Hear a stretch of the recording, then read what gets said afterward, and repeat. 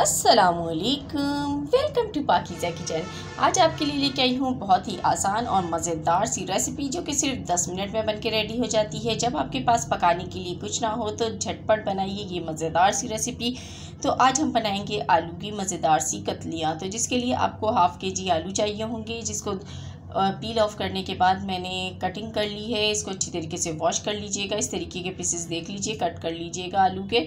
ना बहुत ज़्यादा मोटे हों, ना बहुत ज़्यादा पतले हों।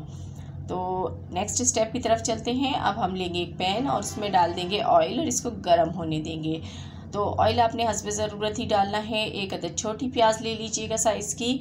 और इसको हमने फ्राई करना है। इतना फ्राई करना है कि हल्का सा इसका कलर चेंज हो। बहुत ज़्यादा कलर चेंज नहीं करना है इसका।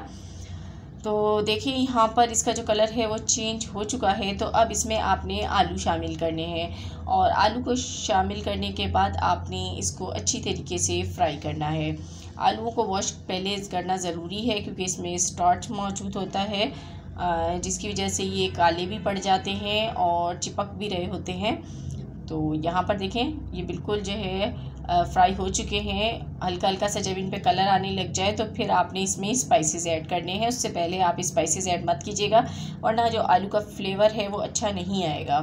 तो अब इसमें लहसुन आपने डालना है तो लहसुन के दो जवे हैं जिनको मैंने ग्रेट कर लिया है, ये इसमें शामिल करेंगे और इसको भी अच्छी तरीके से फ्राई कर लेंगे ताकि लहसुन का जो कच्चापन है वो भी दूर हो जाए।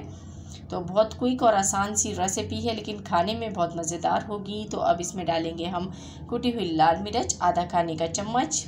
ये छोटा चम्मच है, इस हिसाब से आपने सब चीज़ें डालनी हैं। नमक भी आधा खाने का चम्मच डालेंगे।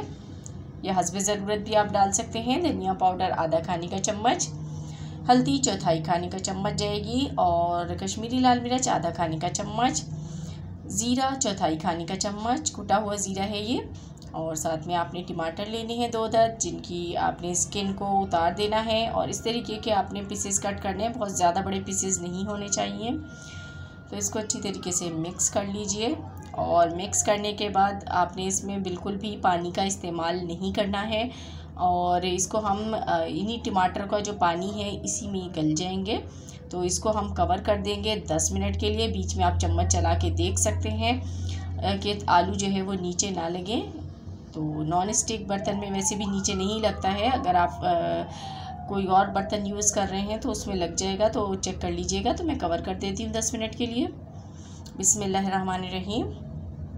तो देखें कितनी अच्छी सी स्टीम बनी है और यहाँ पर आपको नज़र आ रहा है कि हमारे जो आलू हैं वो बिल्कुल गल चुके हैं और शक्ल से ही पता चल रहा है तो आप तोड़ के चेक कर लीजिएगा तो बिल्कुल हमारे आलू गले हुए हैं और देखें ये सिर्फ़ टमाटर के पानी में ही पक चुके हैं, इसमें पानी का बिल्कुल इस्तेमाल नहीं किया हमने।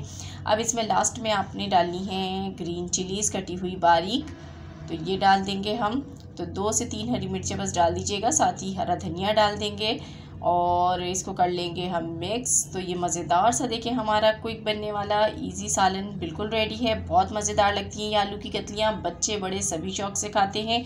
तो ये थी मेरी आज की रेसिपी पसंद आई हो तो लाइक एंड शेयर कीजिएगा। मिलूँगी आपसे फिर किसी वीडियो में। तब तक के लिए दीजिए इजाज़त। खुदा हाफिज़।